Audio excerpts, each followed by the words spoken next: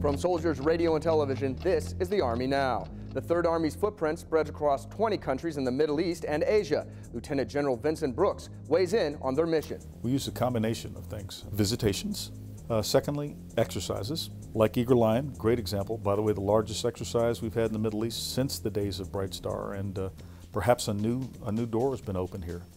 But these are the kinds of things. So exercises like these large joint exercises, or exercises we design on our own.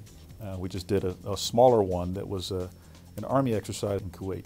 It, it, brought together maneuver combat forces of the Kuwaiti military and the U.S. military, and uh, also introduced uh, live fire systems, uh, indirect fire, fast-moving jets, uh, and a, a tremendous exercise to show the capabilities that can come from training in the field together. That's the Army Now.